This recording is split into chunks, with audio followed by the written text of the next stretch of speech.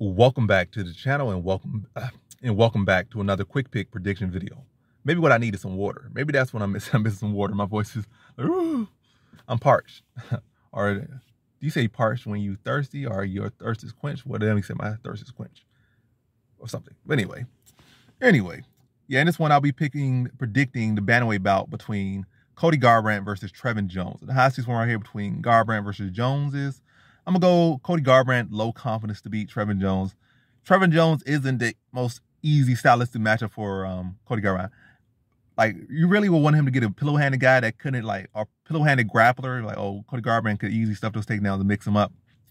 But now you're going with like awkward grappler who got some heavy hands in Trevin Jones and could potentially catch Garbrandt maybe being a little bit lax at some moment and knock him out. And also, I don't think Trevor Jones ever been TKO'd either, so it could be a case where, like I said, you got 15 minutes to deal with in that one little second you take a mental lapse out there, you get knocked out.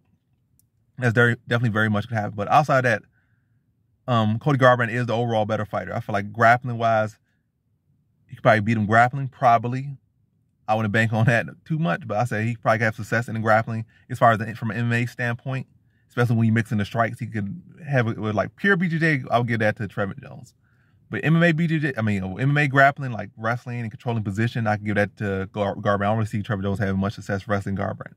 Garbrandt's still very fast, still very explosive, got very good hips, got good wrestling defense, good wrestling background.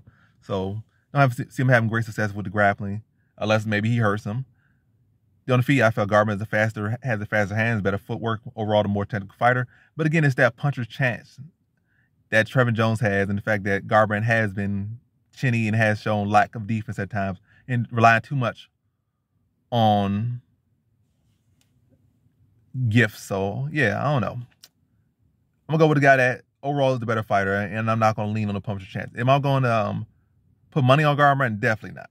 If I put money on a finish, might, might be because I feel like that's where, um, or maybe I might do a hedge where I put Garbrandt in the parlay, but then I'll. No, I'm not even gonna do. It. I'm not putting Garbrandt in nothing. I'm gonna put finish maybe because Garbrandt could finish, Trevor Jones could finish, maybe that way. If the finish is good money, or maybe if Trevor Jones finishes a good money, or if it's not good money, just forget it. But all in all, prediction wise, I'm going Garbrandt, and I'm gonna say decision. I feel like he's gonna pick pick his shots well, but not gonna to, commit too much. He might even make some takedown takedowns in there.